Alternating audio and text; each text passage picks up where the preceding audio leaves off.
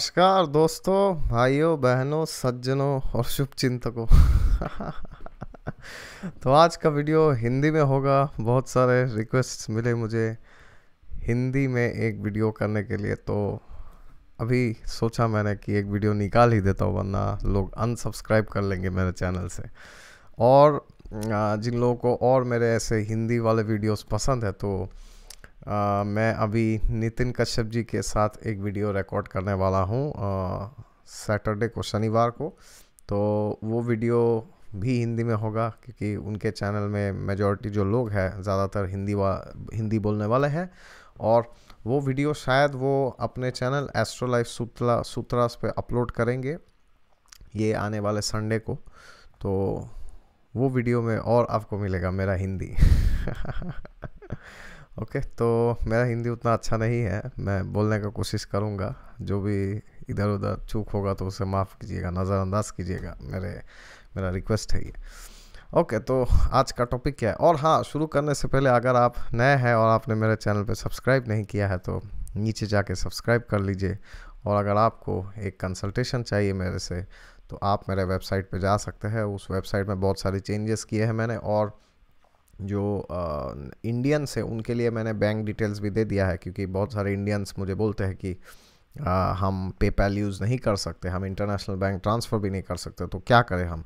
तो वहाँ पे मैंने एक नया ऑप्शन दिया है कि आप बेंगलोर में जो डॉइज बैंक है मेरा अकाउंट वहाँ पे आप ट्रांसफ़र कर सकते हैं लक्ष्मी और उसके अकॉर्डिंग आप आ, मुझे फिर मेल भेज के आप मेरे से कंसल्टेशन ले सकते तो एक बार चेक कीजिएगा, मेरा वेबसाइट थोड़ा एडिट किया है और कुछ नई चीज़ें भी डाली है मैंने।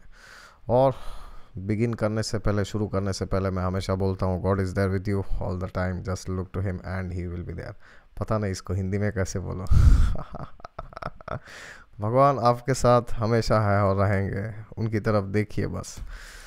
ओके तो आज का टॉपिक क्या है? आज का टॉपिक मैं सोच रहा था यार हिंदी में क्या बोलूँ? मुझे मुझे समझ में नहीं आता क्या टॉपिक पे बोलूँ। तो मैं सोच रहा था कि आ, मैं इस चीज़ पे थोड़ा बात करता हूँ कि आ, अपनी अंदर की जो अच्छाई है उसको बरकरार कैसे रखे? समझ रहे आप? मतलब लोग कहते हैं कि आ, आप भले तो जग भला ये कहावत तो सुनी होगी आपने बहुत सुनी होगी मैंने भी बहुत सुना है अपने बचपन से ही। आप भले तो जग भला, लेकिन कलयुग में मेरा ये अनुभव है, शायद आपका अनुभव अलग हो, लेकिन मेरा अपना व्यक्तिगत ये अनुभव है कि आप भले हो भी तो आपके आजू बाजू जो आपके लोग रहते, वो आपको भला रहने नहीं देते बहुत बार। मैंने देखा है, जैसा मैं जब अपनी इंजीनियरिंग की पढ़ाई कर रहा था S R M university, Chennai में, साउथ इंडिया में 2010 में गया मैं तो मैं मांस खाता था उस टाइम मीट बहुत ज़्यादा खाता था फ़िश फ़िश उतना नहीं खाता था मैं, लेकिन मैं ड्रिंकिंग और स्मोकिंग नहीं करता था।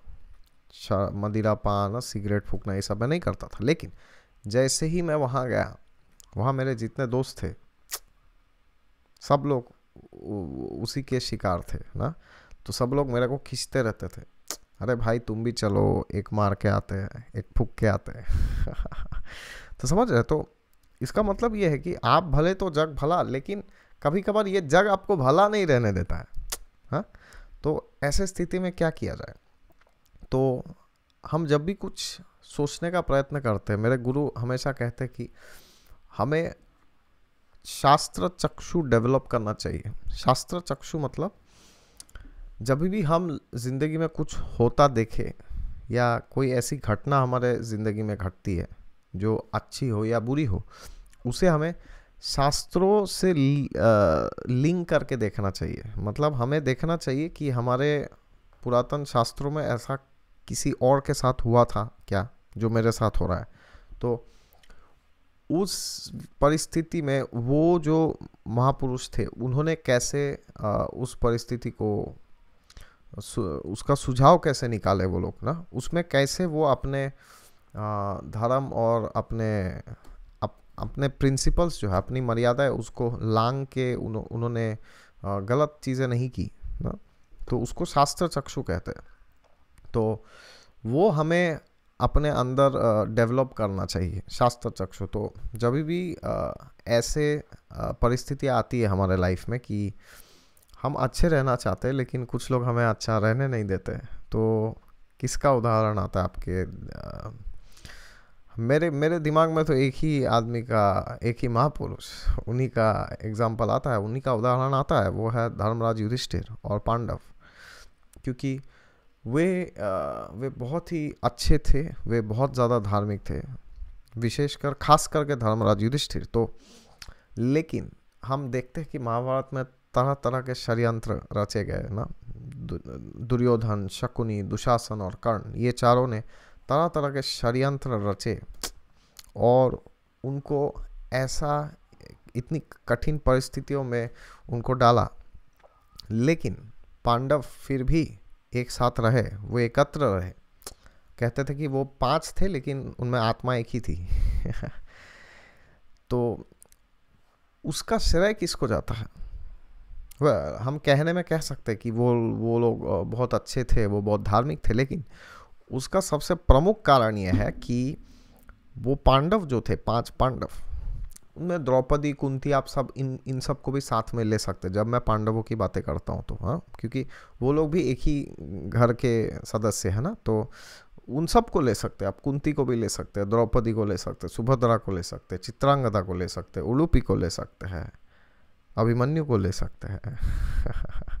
सबको ले सकते हैं। आप हिडिम्बा को ले सकते हैं घटोत्कच को ले सकते हैं। उनका जो पूरा परिवार है पांडवों का ना पंच पांडवों का उनकी सारी संतानें जितने जितने भी लोग हैं सबको आप ले सकते उनकी सबसे विशेष बात क्या थी? जो जिसके कारण वो ना ही धार्मिक पैदा हुए थे वो धार्मिक रहे भी पूरी पू, पूरा जीवन ना ऐसा ऐसा नहीं है कि ओ शुरुआत में वो लोग जब पैदा हुए थे तब अच्छे थे तब बहुत धार्मिक थे ना।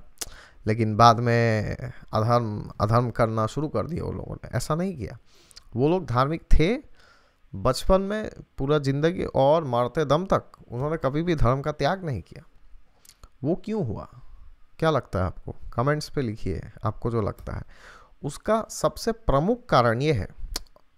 आई ऑफ़ कोर्स उसका एक रीज़न तो ये है कि उनकी जो खानदानी परंपरा थी वो बहुत ही आ, वो बहुत शक्तिशाली थी।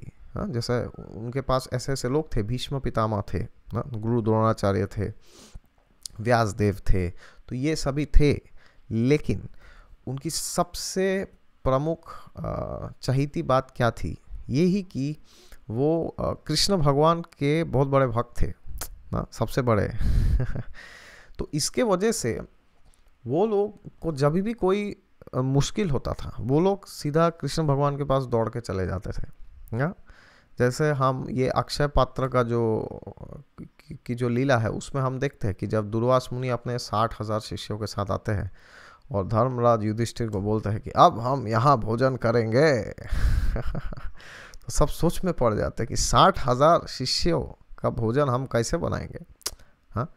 और दुर्वास मुनि का जो शराप है ना, वो उनके ज़ुबान पे बैठा रहता था। वो वो वो इसी प्रतीक्षा में रहते थे कि मैं शराब कब दूँ किसको? और जब दुर्वास मुनि आपको शराब दे तो ऐसा नहीं है कि शायद वो शराब फलित होगा, ऐसा नहीं है। उन्होंने बोल दिया मतलब हो रहा है वो फलित। तो धर्मराज युधिष्ठिर सोच में पड़ गए कि आप कैसे करें? ना साठ हज़ार शिष्यों का भोजन कैसे बनाए हम? ये तो असंभव है। तो फिर द्रौपदी के दिमाग में वो बात आई कि, ओ, हमसे तो हो नहीं पाएगा ये तो हम क्या करेंगे? हम मैं वासुदेव कृष्ण के बारे में सोचती हूँ। और जैसे ही वो सोचने लगी कृष्ण के बारे में, कृष्ण भगवान तुरंत वहाँ प्रकट हो गए।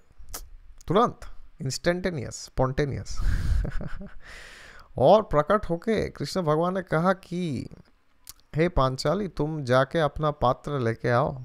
उसमें चावल का एक दाना बच गया है। और वो दाना मैं खा लूँगा और उससे देखना क्या होता है। तो उसमें कहते कि को, कोई कहता है कि उसमें चावल बना था कोई कहता है उसमें खीर बना था ना? तो कृष्ण भगवान वो एक दाने को खा गए और उसी के साथ वो शास्त्रों में कहावत है ना यशमिन तुष्टम जगत तुष्टम जब भगवान संतुष्ट तो सब संतुष्ट। तो उसके बाद क्या हुआ? उनके जितने भी शिष्य थे दुर्वास मुनि के सबको ऐसा लगा कि भरपेट भोजन किए हम लोग अभी हम लोग कुछ खा नहीं सकते और तो उनको इतना डर लगा कि अभी तो हमने बोल दिया कि हमारे लिए भोजन बना अभी हम जाके अगर बोले कि हम नहीं खाएँगे, तब तो कुंती पुत्र भीम हमें क्रोध से मार डालेंगे। युधिष्ठिर, अर्जुन, नकुल सहदेव कुछ नहीं करेंगे। वो तो समझ जाएँगे, लेकिन भीम हमें नहीं छोड़ेंगे। तो भीम के भाई से डर से दुर्वास मुनि और उनके सभी साठ हज़ार शिष्य वहाँ से पलायन कर लिए। वो भाग गए वहाँ से। दुर्वास मुनि बोले कि, उस तरफ़ मत जाओ, यहीं से निकल लो। हिंदी में बोलते ना, यहीं से कट लो। तो ये देख रहे हैं। आप तो जब भी उनको संकट आता था तो हमेशा वो कृष्ण भगवान के पास दौड़ते थे। हमेशा उनके पास भागते थे, ना? तो उसके वजह से क्या होता था? उनका जो उनका जो व्यक्तित्व है, वो हमेशा धर्म के अंतर्गत रहता था। मतलब वो कभी आ, उनके पास कभी ऐसा टाइम नहीं आया कि उनको ये लगे कि ओ अभी हमें अधर्म का सहारा लेना पड़ेगा। ना? क्योंकि महाभारत में एक वो श्लोक भी आता है जहाँ पे ये कहते हैं कि धर्मो रक्षति रक्षिता। मतलब कि जब आप धर्म का अनुसरण करेंगे तो धर्म आपकी रक्षा करेगा।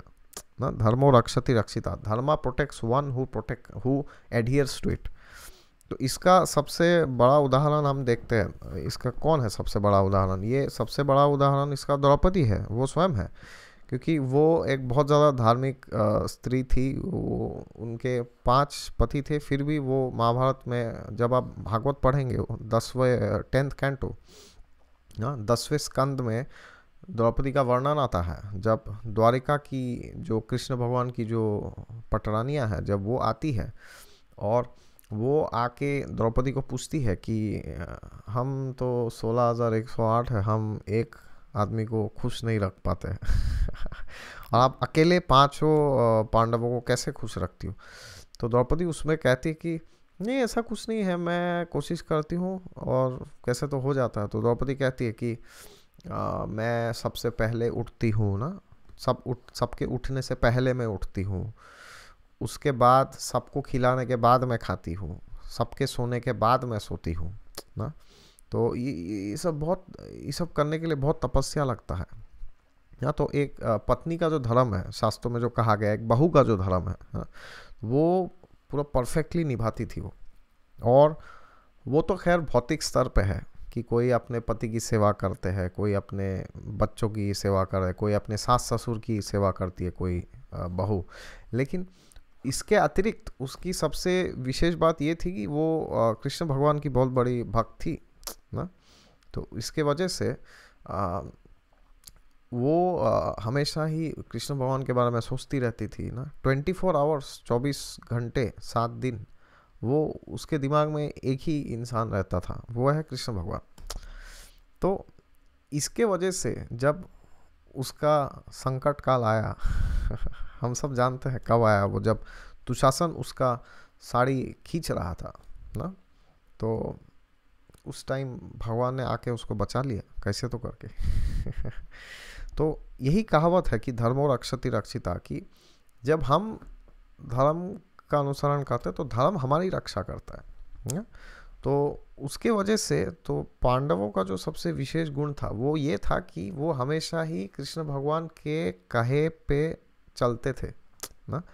जैसा हम बार बार देखते हैं कि महाभारत में भी जब द्रोणाचार्य के वध का समय आता है तो युधिष्ठिर महाराज हिचकिचाते हैं। वो अर्ध सत्य बोलने से कि अश्वत्थामा मर गया है, क्योंकि वो धर्मराज है, वो झूठ कैसे बोले? लेकिन उन्होंने फिर भी झूठ बोला। क्यों? क्योंकि कृष्ण भगवान ने बोला था। इसीलिए नहीं, क्योंकि वो बोलना चाहते थे। वो नहीं बोलना चाहते थे, क्योंकि उनको पता था कि ये सही नहीं है करना। लेकिन जब कृष्ण भगवान ने कहा कि ये अधर्म नहीं है, क्योंकि द्रोणाचार्य ने क्या किया था उस टाइम उन्होंने पांचाल सेना पे ब्रह्मास्त्र का प्रयोग किया था उस टाइम और जब द्रोणाचार्य ने ये किया तो आकाश में उनके पिता महाराज भारद्वाज मुनि श्रीमान भारद्वाज ऋषि प्रकट हो गए। उन्होंने बोला कि बेटा बस करो बहुत हो गया है तुमने बहुत विनाश किया है आप अपने शस्त्रों का त्याग कर दो। कोई कहता कि देवराज इंद्र भी प्रकट हुए थे लेकिन फिर भी उन्होंने किसी की बात नहीं सुनी। वो विध्वंस करते चले गए पांडव सेना का अधर्म अधर्म का सहारा लेके क्योंकि दिव्यास्त्रों का प्रयोग वर्जित है। असाधारण स्थितियों में ही उसका प्रयोग आ, उसको प्रयोग किया जा सकता है और उस दिन ऐसी कोई स्थिति नहीं थी। कि द्रोणाचार्य को ब्रह्मास्त्र जैसे अस्त्र का प्रयोग करना पड़े। और उन्होंने वो किया। वो बहुत बड़ा अधर्म था। लाखों करोड़ सेनानी शहीद हो गए। वो एक ही अस्त्र का प्रयोग करने से। पूरी पांचाल की सेना समाप्त हो गई। क्योंकि वो बहुत क्रोध में थे उस दिन। तो वो क्रोध में अपना अंकुश खो बैठे। तो कृष्ण भगवान ने बोला कि ये ब्राह्मण पागल हो गया है। ये इस ब्राह्मण को अभी मारना पड़ेगा। साम दाम दंड भेद। जो अधर्म अधर्म के पद पे जो है उसको मारो अभी। और क्योंकि वो भारद्वाज ऋषि के पुत्र थे और भार्गव परशुराम के विशिष्य थे तो कुरुक्षेत्र तो क्या पूरे विश्व में कोई नहीं है जो उनको पराजित कर सके। तो उनको आई I मीन mean, हमें सब हम सबको पता है कृष्ण भगवान के अतिरिक्त कोई नहीं है जो उनको पराजित कर सके। लेकिन कृष्ण भगवान ने तो प्रतिज्ञा ली थी कि हम चक्र नहीं उठाएँगे हम शस्त्र नहीं उठाएँगे।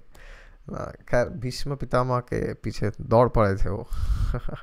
लेकिन तब कृष्ण भगवान ने कहा कि बहुत हो गया अभी। ये जब तक जब तक ये व्यक्ति है, तब तक धर्म की स्थापना नहीं हो सकती। तो इस व्यक्ति को मारो कैसे भी करके। डजेंट मैटर मैं कह रहा हूँ, बोलो झूठ और मारो। तो युधिष्ठिर महाराज ने वो अर्ध सत्य बोल दिया कि हाँ अश्वत्थमा मारा गया। तो इसके वजह से एंड में क्या हुआ? उनकी विजय हुई, ना? और धर्मराज युधिष्ठिर की वही विशेषता थी कि वो ना चाहते हुए भी, अगर वो खुद नहीं चाहते थे, लेकिन जब कृष्ण भगवान ने बोला तो उन्होंने अपने निजी व्यक्तिगत उनका जो निर्णय है, उसको साइड में रखा, ना? उसको उन्होंने नज़रअंदाज कर दी। बट उन्होंने उसी पे ध्यान दिया, जो भगवान ने उनको बोला। और इसी के वजह से वो विजयी हुए। आखिर में। वरना तो ये संभव नहीं था ना? तो यही हम देखते हैं कि कृष्ण भगवान समय समय पे कैसे अपने, ना, अपने चाहिए अपने भक्तों का कैसे रक्षण करते और इसके चलते धर्मराज युधिष्ठिर को कभी ऐसा लगा नहीं कि आप हमें अधर्म करना चाहिए, ना? हमें पाप करना चाहिए, हमें नीति के विरुद्ध जाके कोई ऐसा काम करना चाहिए जो शास्त्रों के सम्मत नहीं हो, ऐसा हमें करना पड़ेगा। युधिष्ठिर महाराज को कभी ऐसा नहीं लगा। तो कहने का तात्पर्य यही है मेरा इस वीडियो में कि हम अच्छे हो सकते हैं, लेकिन हमारे आजू बाजू के लोग कभी कभार हमें अच्छे नहीं रहने देते। तो हमें क्या करना चाहिए? बहुत ही सिंपल है, बहुत सरल है कि हमें कृष्ण भगवान के जो कहानियाँ, जो लीलाएँ हैं, उनका श्रवण करना चाहिए, ना? उनके बारे में पढ़ना चाहिए। जैसे ग्रंथ हो गए श्रीमद् भागवत हो गया महाभारत हो गया रामायण हो गया मर्यादा पुरुषोत्तम रामचंद्र भगवान उनका उनके जो जो रा, जो रामायण है वाल्मीकि रामायण या रामचरितमानस जो भी आपको पसंद है पढ़ना तो वो सब हमें पढ़ना चाहिए। अपने घर वालों के साथ बैठ के उनके बारे में चर्चा करनी चाहिए। घर में आके टीवी देखने से अच्छा है थोड़ा रामायण पे चर्चा कर लो। समझ रहे ना? क्योंकि जब संकट काल आएगा तो टीवी नहीं बचाएगा आपको, ना? जब संकट काल आएगा तो भगवान ही बचा सकते हैं हमें। वो तो हमें सब हम सबको पता ही है ना। कलयुग में तो कभी कभी भगवान भी नहीं बचाते। खैर तो कहने का वही मतलब है मेरा कि ये पूरे वीडियो में कि हम जैसे भी है, अच्छे हो या बुरे हो, उस अच्छाई को बरकरार रखने के लिए हमें भगवान के कहानियों का श्रवण करना चाहिए, पढ़ना चाहिए और जो उनके उन कहानियों के पथ पे जो चल रहे हैं ना, जो जैसे उनके भक्त हो गए या कोई सत्संग प्रोग्राम हो गया, जो हमारे गुरु हैं, उनके पास जाके उन, हमें उनसे समय टाइम टू टाइम मिलते रहना चाहिए ना। हफ़्ते में एक बार हो गया संडे या सैटरडे को, शनिवार, रविवार को जाके हमें मिलना चाहिए उनसे। तो हमें उनसे जाके हमारे हमारी कठिनाइयाँ जो है वो हमें प्रॉब्लम्स उनसे शेयर करना चाहिए ना। और उनसे हमें सुझाव लेना चाहिए कि क्या करें इस ऐसी परिस्थिति में क्या करें हम ना? ऐसी विकट स्थिति आ गई है उसमें क्या करें? और अगर हम कोई समस्या है हमारे अंदर जैसा कोई आ, ऐसी कोई हैबिट है जो हम नहीं छोड़ पा रहा है ना जैसा हम शराब के शराब के अधीन हो गए या या सिगरेट हो गया या पोर्नोग्राफी देखने लगे ना? या ऐसा कुछ हो गया तो हमें गुरुजनों के पास जाना चाहिए और उनसे सहायता लेनी चाहिए। उनसे हमें ये बोलना चाहिए, हमें जाके अपना हृदय खोल देना चाहिए उनके सामने कि देखिए, गुरु महाराज जैसे ही समस्या हो रही है हमारे साथ, क्योंकि कृष्ण भगवान तो है नहीं हमारे सामने तो उनके जो रिप्रेजेंटेटिव्स है, उनके जो प्रतिनिधि है, वही है। तो हम उनके पास नहीं जाएँगे तो किन के पास जाएँगे? तो अगर आप एक मुस्लिम है जो ये वीडियो देख रहा है तो आप भी जाइए अपने जो आपके बुज़ुर्ग है, जो आपके रिलीजन में, आपके जो धर्म में जो भी है, आपके मौलवी या जो भी जिसको भी बोलते हैं, आप मुझे ज़्यादा आइडिया नहीं है तो उनके पास जाइए। अगर आप क्रिश्चियन है, ये वीडियो देख रहे हैं तो आप जाइए अपने चर्च में जो आपके फादर है, उनके पास जाइए ना। कन्फेशन का वो होता है, वो कीजिए। जो भी है, आपके आपके धर्म के अनुसार जो भी नीति नियम बताए गए हैं ना तो गुरुजनों से मिलिए, सत्संग प्रोग्राम्स में जाइए। तो वैसे ही कुछ हो सकता है। तो वो जब हम करेंगे तो हम भगवान के वाणी के साथ अपने जीवन को जोड़े रखेंगे तब तक। और तब तक हमें ये एहसास होता रहेगा कि हम भी धर्मराज युधिष्ठिर जैसा बिना पाप किए रह सकते हैं इस दुनिया में। वरना बहुत मुश्किल है। आप अच्छे रहने का कोशिश करेंगे, लेकिन लोग आपको रहने नहीं देंगे। आप बोलेंगे कि मैं शराब नहीं पीऊँगा, आपके दस लोग आ जाएँगे। शराब पियो पियो पियो तो कितना ना बोलेंगे आप। तो हमें अंदर से ताकत चाहिए, प्रेरणा चाहिए कि गलत चीज़ों को ना करने के लिए। और वो कब आएगा? जब हम अच्छे लोगों से मिलेंगे, सत्संग में जाएँगे, भगवान के जो कहानियाँ हैं, उनका श्रवण करेंगे, ना? और जिन लोगों ने उन कथाओं का अनुसरण किया है अपने ज़िंदगी में, अपने जीवन में तो उनका जब जीवन हम जीवन शैली देखेंगे तो तो हमें ज़्यादा प्रेरणा मिलेगा कि हाँ ये लोग कर सकते तो हम क्यों नहीं कर सकते, ना? जैसे जब मैं अपने गुरु को देखता हूँ मेरे जितने भी गुरुज हैं, उनको भी मैं देखता हूँ गुरुओं को तो मुझे लगता है, ये ये भी तो एक टाइम नॉर्मल साधारण इंसान थे मेरे जैसे। बट अभी वो साधारण इंसान नहीं, वो बहुत ऊपर स्तर में पहुँच गए आध्यात्म में बहुत बहुत बहुत बहुत तरक्की किया है। तो वो कर सकते तो मैं क्यों नहीं कर सकता हूँ? तो वो कर सकते तो मैं भी कर सकता। तो उन उन लोगों से मिल के हमें वो प्रेरणा आएगा ना तो फिर हम अपने जीवन को सुधार सकते तो यही कहने का मेरा उद्देश्य था इस वीडियो में कि अच्छे लोगों के साथ रहिए। अच्छा अर्थात जो धर्म को फॉलो करते हैं ना, उन लोगों के साथ रहिए और भगवान की कथाओं का श्रवण कीजिए। घर में अपनी मम्मी, पापा, जितने आपके बेटे, आपके पति, पत्नी सबके साथ उन सब कथाओं के बारे में चर्चा कीजिए और वैसे ही आपका जो जीवन है, वो उसमें जो आपकी अच्छाई है, वो बनी रहेगी। अन्यथा आपकी जो अच्छाई है, उसे गटर में जाने में टाइम नहीं लगेगा। ठीक है? तो ये बोलना था मुझे। तो अगर आप नए हैं, इस चैनल को तो सब्सक्राइब कर लीजिए। और अगर आपको एक कंसल्टेशन चाहिए तो फिर से मेरे वेबसाइट पे जा सकते हैं आप। वो उसका जो लिंक है, वो डिस्क्रिप्शन में दिया हुआ है नीचे। और वही बोलूँगा मैं और। तो नितिन जी के साथ जो वीडियो आएगा, उस, उसमें फिर से देखिएगा हिंदी में, ठीक है? तब तक के लिए नमस्कार गुड बाय टाटा।